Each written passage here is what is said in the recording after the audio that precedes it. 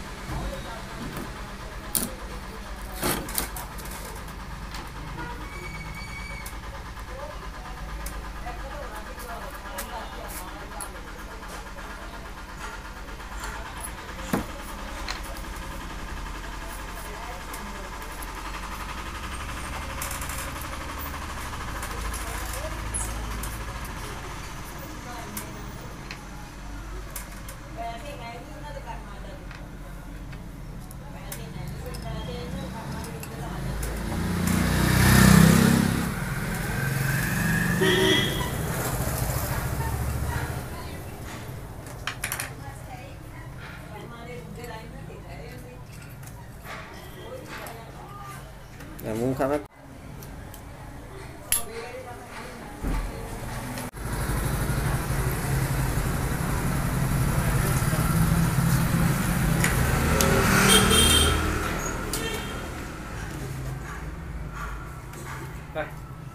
Video ਬਣਾਈ ਅੱਜ ਹੈ ਹੂੰ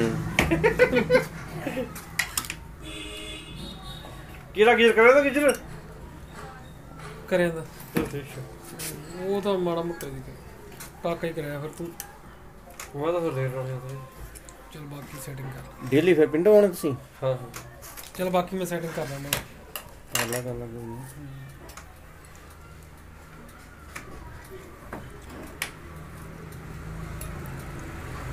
ਵੀਡੀਓ ਪਾਉਣੀ ਹੈ?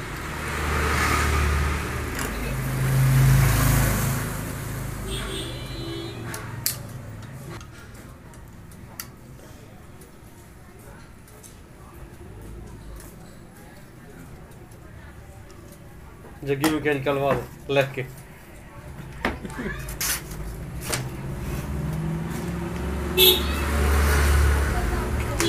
This is spot.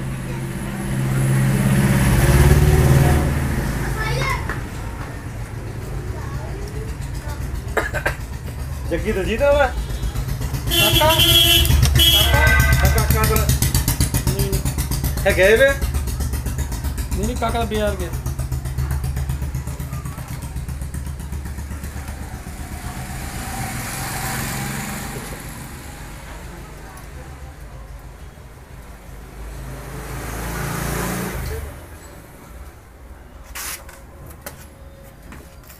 ਨਾਲ ਬੋਲਿਆ ਵੀ ਕਰਨਾ ਬੋਲ ਚੁੱਪ ਚੁੱਪ ਓਏ ਵੇਖੀ ਹੈ ਤਾਂ ਉਹ ਹੀ ਕਹਿੰਦਾ ਲੱਗ ਮੈਂ ਸੱਚੀ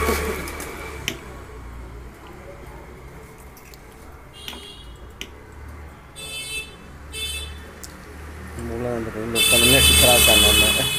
ਹੈ? ਲੋਕਾਂ ਨੇ ਨੈਟ ਹੀ ਖਰਾਬ ਕਰਨਾ ਹੁੰਦਾ ਕਰੋ ਕਰੋ। ਵਾਹ ਹੈ ਮੈਂ ਠੰਡ ਜੀ, ਬਲਾ ਬਹੁਤ ਆ, ਮੋਟਰਸਾਈਕਲ ਤੇ ਆਇਆ ਇੱਥੋਂ ਮੈਂ। ਬੜੀ ਠੰਡ ਹੈ ਬਹੁਤ ਹੈ ਬਾਪ ਬੜੀ ਠੰਡ ਹੈ